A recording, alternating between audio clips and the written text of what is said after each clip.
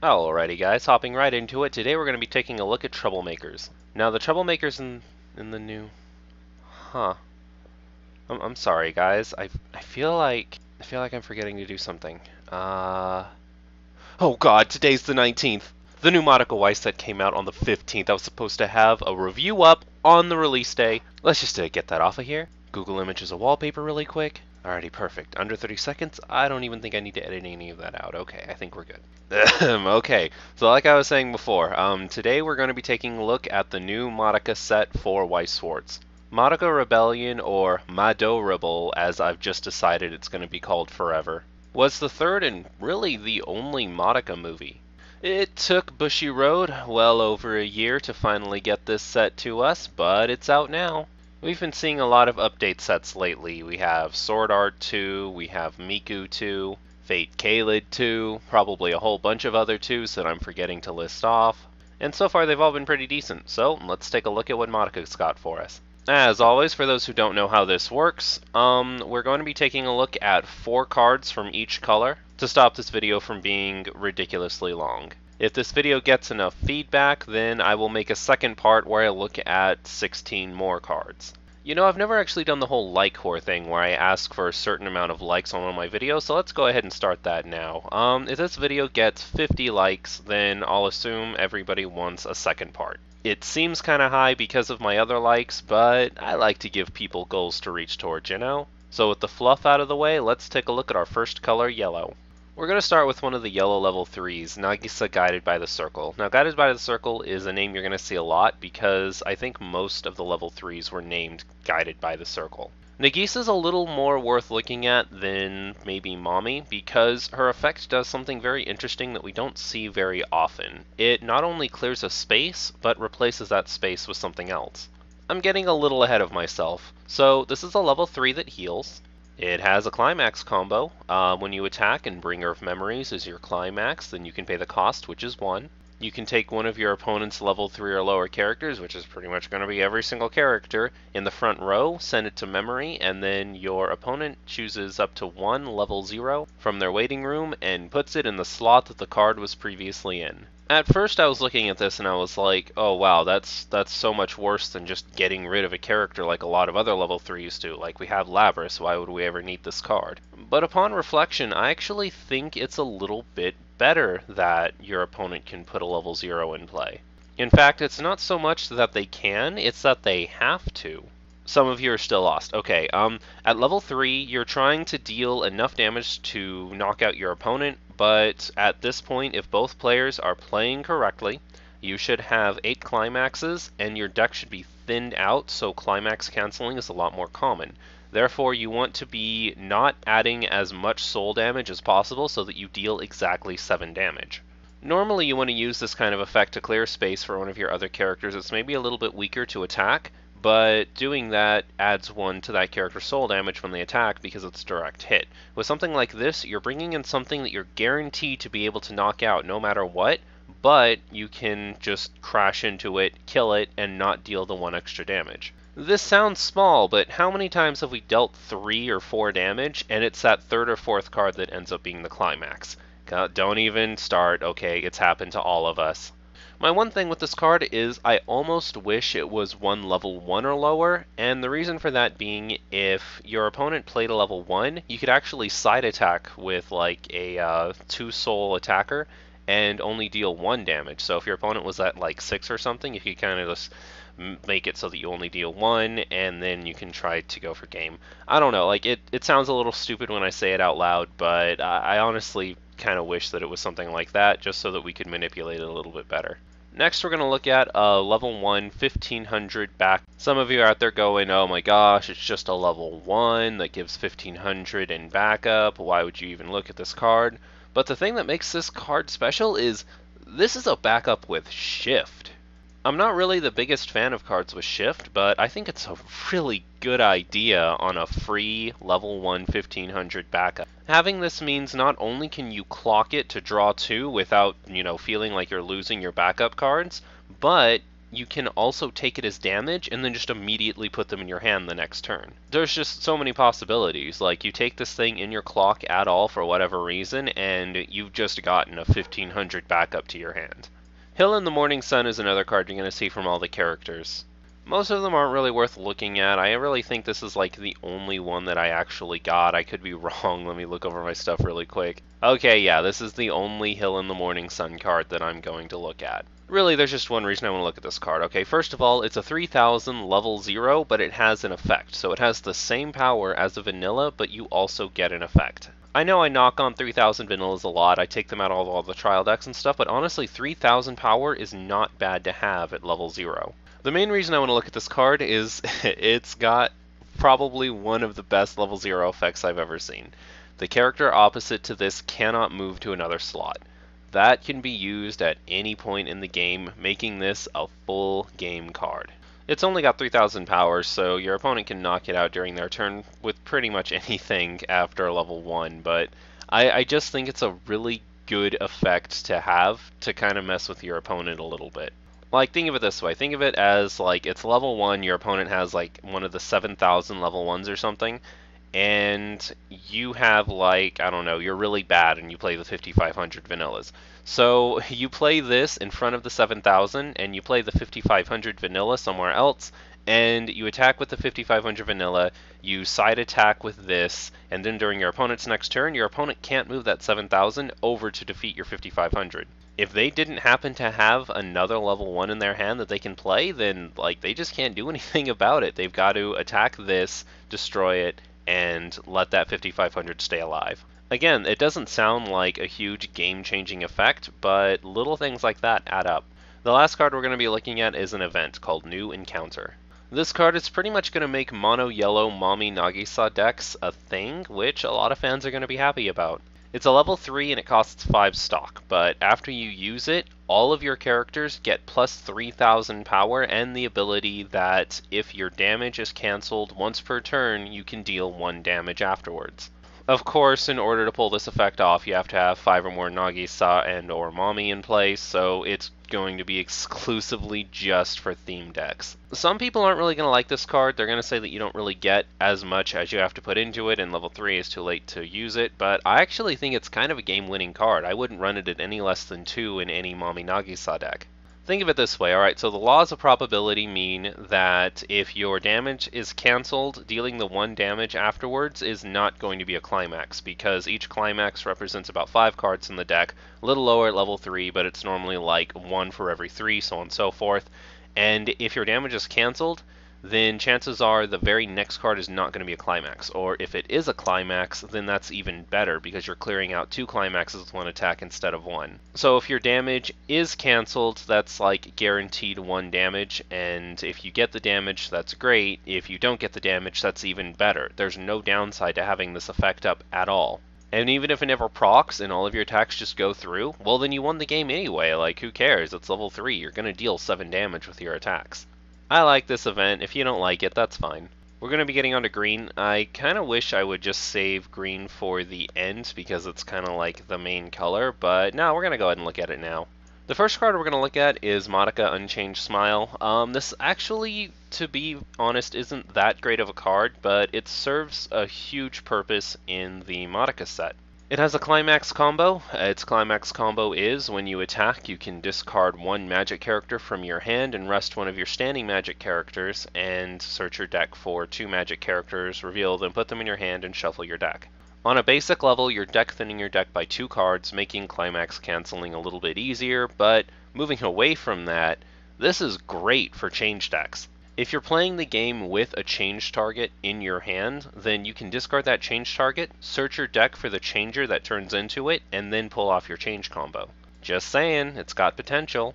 Next, we're going to look at Real Power Madoka. Um, it's probably the best level 1 in the set that I can see. I mean, if you can think of one better, that's, you know, you can just leave in the comment section below. I'll take a look at it, but I looked over the entire set, and this was definitely my favorite. So Madoka's effect, uh, when you attack, you reveal the top card of your deck, and if it's a magic character, this becomes a natural 8000 for the turn.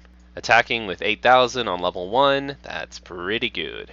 What's even better is if you pair this up with something like Yellow that has the new Nagisa that gives all of your characters plus 1000 power during your turn, which is really the only time you get this power boost anyway, um, then you can actually be swinging for 10,000 every single turn. There is that slight chance that you're not going to reveal a magic character, but since all of the characters in this set are magic characters, it's going to be really hard not to unless you go into like an event or a climax. To top all of that off, normally this would just be a pretty decent card because it'd be an assassin and your opponent would just destroy it during the next turn. But no, this has character discard encore. So even if your opponent does decide that they're tired of your crap and they want to take this card out, you just have to discard one character from your hand to keep it alive, and it can just pull this crap off next turn. Um, this is going to make level 1 Madoka decks a real thing, Normally, Madoka decks focus on level 2s and 3 because um, they focus on change, but this doesn't need change to be good, okay? It's got Super Encore, and it attacks for 8,000. Okay, so the last normal card we look at before we just start getting ridiculous, okay? Honestly, this Homura is kind of bad, um, but it serves a purpose that really, nope, not very many characters that come out lately have. So when it comes into play, you can pay one stock and put the top card of your library into the clock. And then you can choose one card in your clock, put it in your hand, and clock another card off the top of your library. So why would I be looking at this card? Well, if you're fighting against somebody who is a total D-bag like me, they're going to do something to you called starving, where they leave you at exactly 5 damage so that you cannot um, level up. And this is something that I do in pretty much all of my matches, and it's kind of a tactic that a lot of other people have started adopting too. Um, and this kind of stops starving. Like, I don't know if this is something a lot of people have been dealing with lately or something, but it's totally what it does. You clock the top card of your library, and then you can select something. So, like if you've uh, taking something as damage that you really don't want to have taken, like if you see a level one you can play or something, then you can grab the level one. You can clock yourself again, level up, and then start playing level ones and steamroll your opponent. It's not the best thing in the world, but it's one of the most interesting, so we gotta look at it. Hey there, Madoka Weiss players! Did you play an Ultimate Madoka deck when the set first came out? You did? Well, have I got a surprise for you. Also, I can hear you through your speakers. So somebody at Bushiroad took a look at Ultimate Madoka decks and they were like, well, well, this just isn't good enough. The deck just isn't winning enough. What's that? Like 85% win rate? Well, we can get that up higher, can't we? So obviously I'm exaggerating a bit. Sayaka Kyoko is still the most powerful deck in that format, but Ultimate Madoka decks will never be the same. We're going to be looking at two cards instead of one here because I feel like it's necessary to look at both at the same time. So you're kind of getting like 17 cards out of this. So first I want to look at Ultimate Madoka despite it being on the right. Um, for each of your other magic characters, this gains plus 500 power, and when this is placed from hand to stage or via change, because we can change into it, you can draw one card and this gains 2000 power for the turn. Pretty good, pretty good. Okay, let's look at Homura becoming a devil. First, before I get into it, I just gotta say, like, the artwork on the Homura card is absolutely stunning. I think it looks really amazing. So, um, let's start off strong. If there's a marker under this card, it gains 8,500 power. so, if you can get one marker under this card, it becomes a natural 18,500. So to all the people who told me before that power doesn't really matter at level 3, um, I gotta tell ya, you can go ride a roller coaster because I think 18,500 power is amazing. In all seriousness, it's really not going to lose to like any other card in the format. If it's a two soul attacker that never dies, it's a card you never have to replace. You see how that works? But your opponent has to keep replacing their cards, so eventually your opponent is gonna run out of resources before you. So, you might be asking yourself, Kudo, Kudo, how do I get this marker? Well, when this is placed from hand to the stage, you can choose one of your Madoka Ultimates and put it face down under this as a marker. But Kudo, that's awful, then I lose one of my attackers. Well, if you do this, you can take one Madoka of the New World in your waiting room and put it in any slot on the stage. So if you can get out Madoka Ultimate almost immediately, like I know you can, um, you can put this under it as a marker the very turn you play it, and you get another character in its place that can also attack. And it's attacking for less soul damage, which is good at level 3. They tried to give this card a downside, and it ended up being a plus. But Kudo, Kudo, that's not ridiculous enough. Can you please tell me something more ridiculous about the card? Well, sure, anonymous viewer. If you pay 2 and discard one card from your hands to the discard pile, when the battle opponent of this becomes reversed, you can pay the cost. If so, put that character in the clock. But Kudo, Kudo, this is an 18,500. Isn't every character this battle gonna be reversed? Yes. Yes, it will. Now, some people are going to be saying, oh, well, that's not that ridiculous. That just means you're getting like one extra damage each turn but we can actually step that up a little bit higher. If your opponent is attacking with zeros and ones because they just want to finish off the game and they're just suiciding things into this, like that's something we all do. At level 3, if your opponent has level 3s out and you have level zeros in your hand, you just suicide them off so that you can just win the game. Just deal the soul damage and win the game.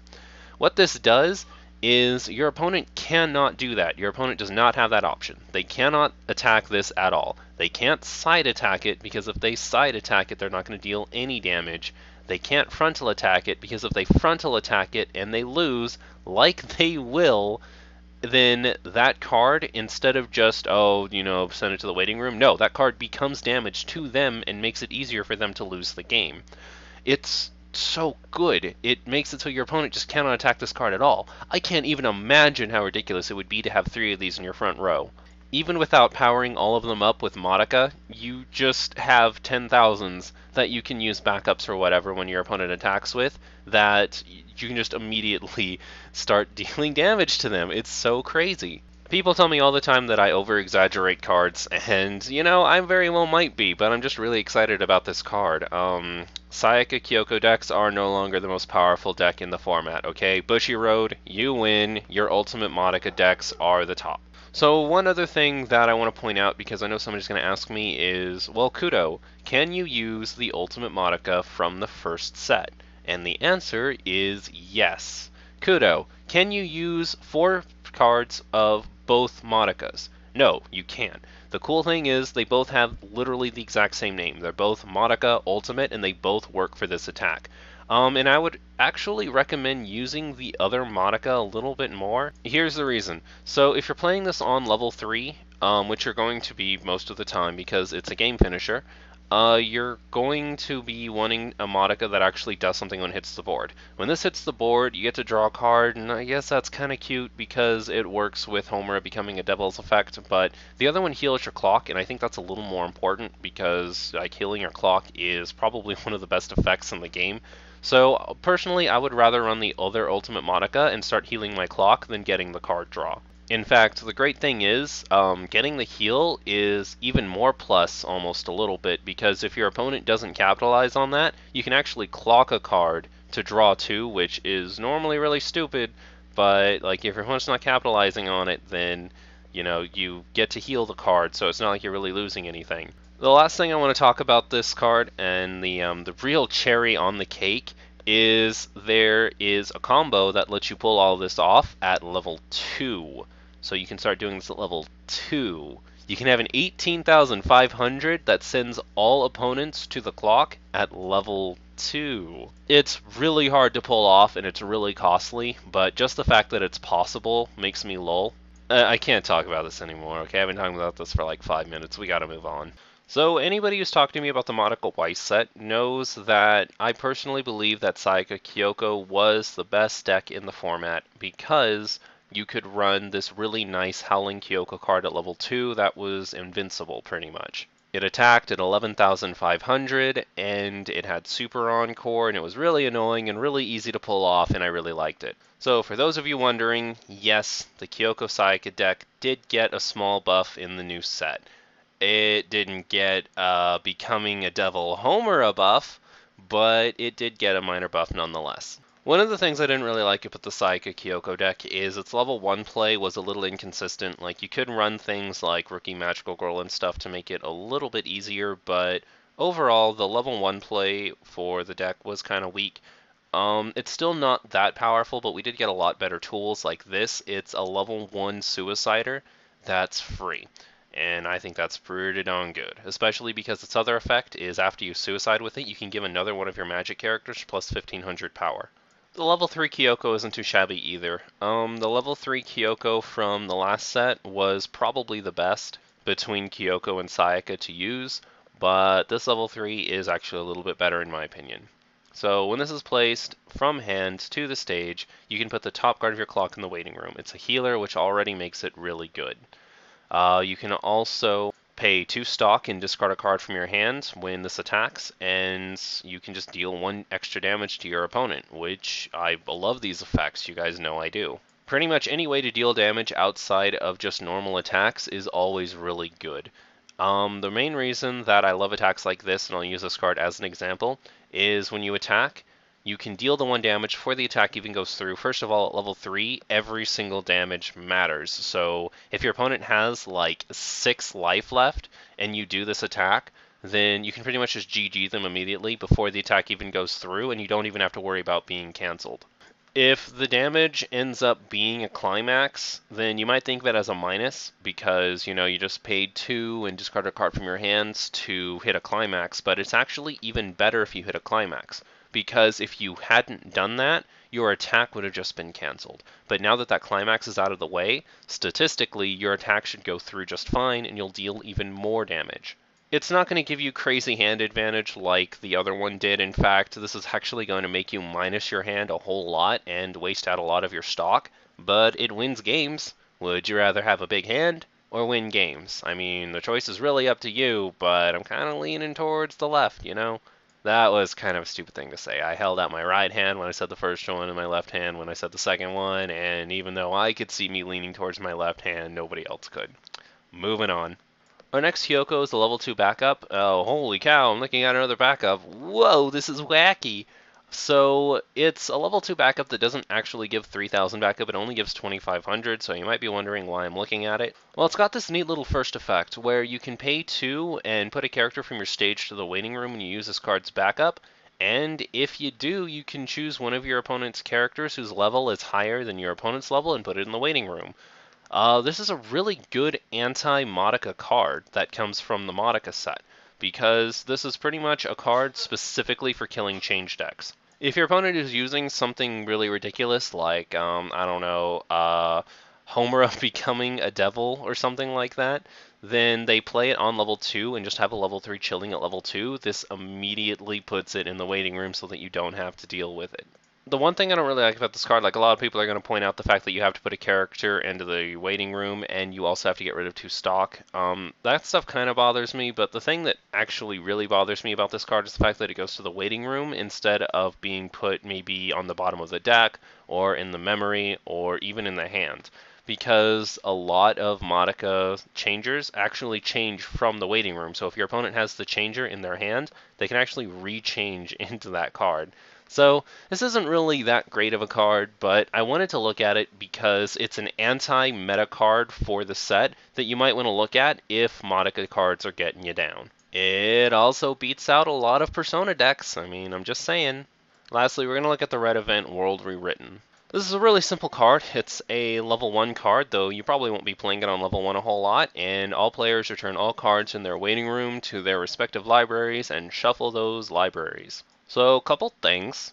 First of all, um, I really like cards that shuffle your opponent's discard pile back into their deck, or even yours for that matter, because if you're hitting a lot of um, non-climax cancels, like if all of your attacks are going through and stuff, and you know that the climaxes are coming, or if your opponent attacked with some characters and they actually got a whole bunch of climaxes to put into their stock, you can completely screw them. You force your opponent to deck refresh. They don't take the one damage, mind you, but you force your opponent to deck refresh, and it takes even longer to get those climaxes back into the deck. It pretty much rewards your opponent's bad luck, your opponent's mistakes, or just straight up your good luck. It's overall a really cool card to have, and I love the fact that it's free.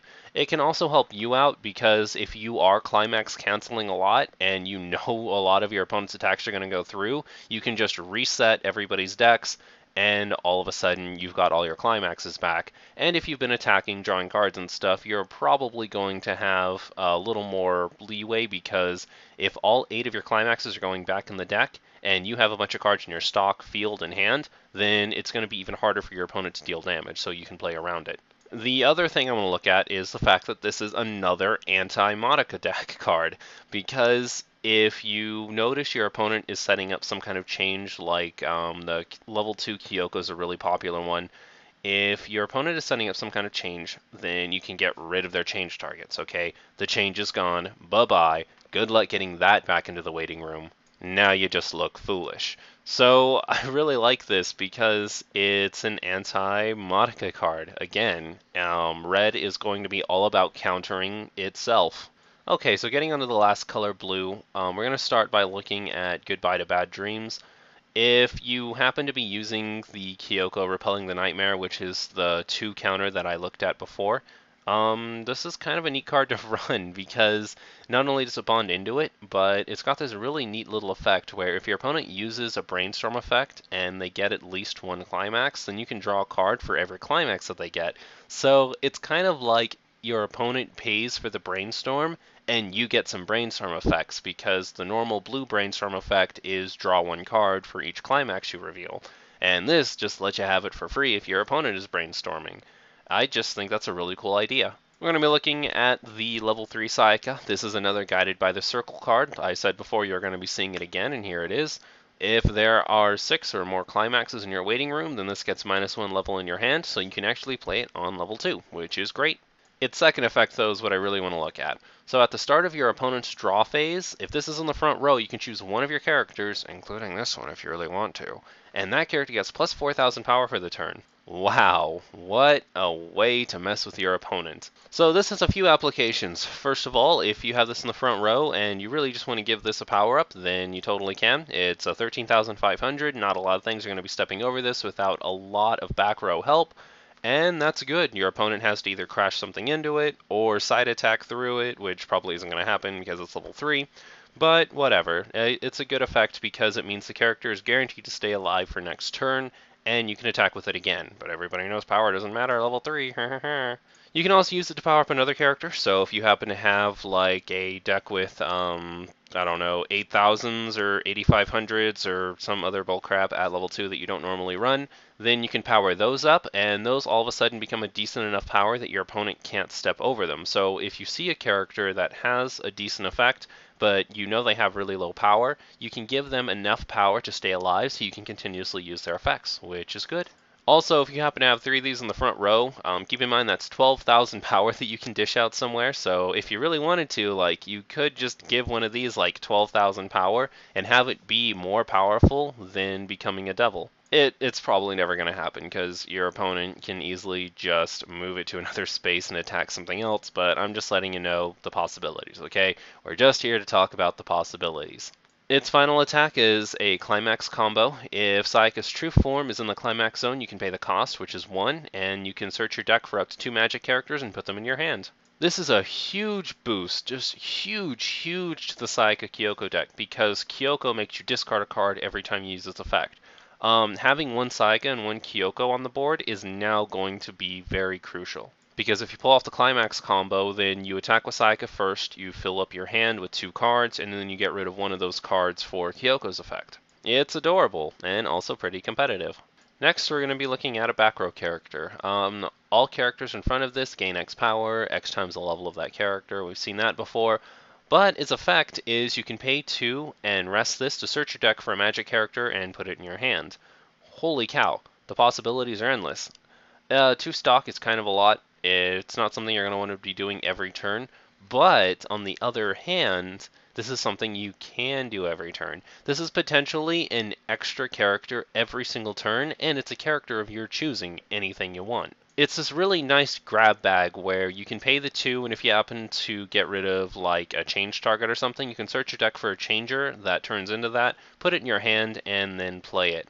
Um, this is going to be a very, very powerful card for people who still want to run the Dead-Eyed Sayaka build that I had on my channel.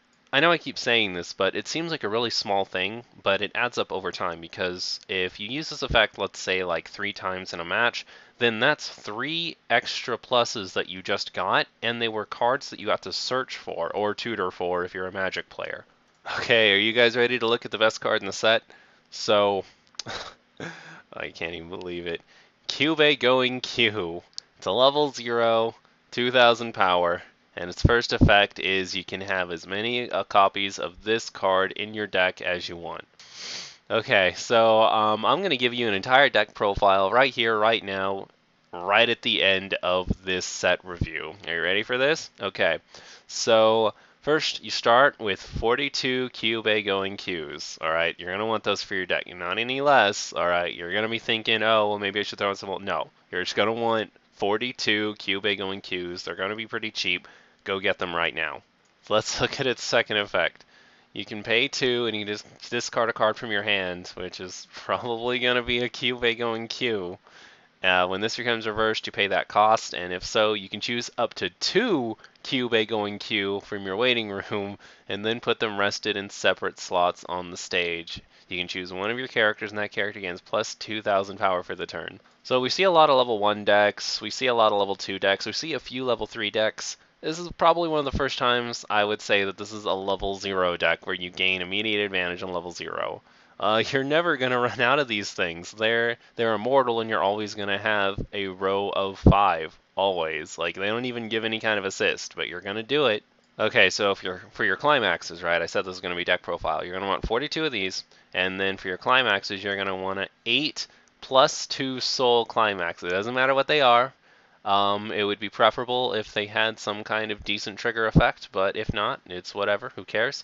Um, you're just going to want 8 plus 2 soul climaxes. Make it happen. The deck that I have just given you is can potentially win games, and that's not even a joke. Sometimes I just gotta love this game, okay? This is one of the greatest card games in the world where you can do something like that and still have a shot at winning. In all seriousness, if you wanted to take this another step forward and you wanted to be an actual competitive deck, you could cut it down to like 25 Kyubeys and put in some actual like assists and backups and other stuff. But you're completely killing the fun of the deck, okay? Just run the deck as a fun Trollsy deck and be happy with it. Don't try to make it super competitive. It's not going to work. You want some Ultimate Madoka stuff for that. And bonus card. You're actually going to be getting like 18 cards out of this because they released a bonus that I want to look at. Homura, Hope, and Resignation. God, Homer, you have like the worst card names ever. It's sort of like a worse version of Becoming a Devil. Well, not necessarily worse. It has less setup, so it's easier to play, but it's weaker. During the very first turn you play this card, you can pay one to give it the effect where if you reverse a character, it goes to the clock. Um, it's not going to have the insane 18,500 body, but 10,000 still a pretty big booty and your opponent's probably going to have a level 2 still like out on the field chilling somewhere. It only costs one, which is better than becoming a devil, but it only happens once, which is worse than becoming a devil. So it can still finish games just as well as becoming a devil at a lower cost, which is cool, but it just doesn't get its effect as often, which is worse. I don't even know. I still think becoming a devil is way better. So its second effect kind of makes up for it. You can rest a magic character to give this plus 1500 for the turn, so potentially, if you're resting both of your back row, this is like a 13,000, which is kind of cute, I guess. And you can step over a lot of stuff, and like you can use its first effect fine, but after that first turn, it's really just a powerhouse that's only powerful during your turn. So I don't know, take from it what you will, but I still think becoming a devil is better. But this is a promo, so here you go. So Kudou, what do you think of the new set? Um, it's good. It's okay. I mean, it's it's pretty decent. Some people are going to be surprised that I'm saying that because I said a lot of really good things about a lot of the cards in the set. Um, it's it's not so much that the cards in the set are bad or disappointing or anything, but I just I didn't I don't know if it has the same impact as some of the other sets had. This set, I mean, like it made Ultimate Madoka deck a lot more powerful. It made it the most powerful deck in the set, so like that I, that was the intention from the beginning. I guess it's pretty cool that it got that back. Um, Sayaka Kyoko players have some stuff to look forward to. They're gonna be they're gonna be changing out like seven or eight cards in their deck. Um, it did a little bit for yellow because now if you are somebody who's running like pure Mami decks or something, you can rock Nagisa too, and Nagisa has a lot of effects that it brings to the table. Um, it's got that really nice shift clock thing that's really cool. And it also has that event that can finish games at level 5, so you know, that's that's a pretty cool thing for it to have, I guess. I guess my main thing comes from the fact that the Madoka set was already such a powerful set to begin with, and this didn't really add too much to like deck variety or anything like that. Like, okay, let me give an example. So, the Project Diva F second set, when it came out, it was huge. It doubled, almost tripled the power of the Vocaloid decks. It came out the gate with so many new decks, just so many new possibilities. It was almost overwhelming. It was probably one of the best second sets we've gotten. Um, Sword Art 2, like it, it took the decks away from just being level one encore abuse decks and actually kind of like made some variety and brought out a lot of better late game stuff. And like you had to kind of sacrifice some of the early game power to get some of the better late game power, but it, it felt like you were running something really different and new. With this set, I it's a really good set, but really we're just going to be playing the same decks we were playing before with better cards it's not necessarily a bad thing. It's pretty cool for Madoka players, and I really hope Madoka players get a lot of enjoyment out of this. You're going to be able to compete with a lot more decks that you weren't able to before. Just uh, don't expect to be playing any new decks, I guess is what I'm trying to say. So if you enjoyed this video, please leave it a like. Those things really do help us out. Leave me your thoughts on the set in the comments section below. And finally, subscribe to stay up to date on the latest Kudou news. Remember guys, if you want to see a part 2 to this where I look at even more cards, you have to leave it likes. If I see 50 likes, I will immediately start working on a part 2 to this. If not, I'll assume everybody's just okay with this, and we're good. I mean, this video is almost 40 minutes. You're probably pretty satisfied with just this, and I'm completely okay with that. Until next time, Weiss fans, uh, congratulations on the new set, Madoka fans.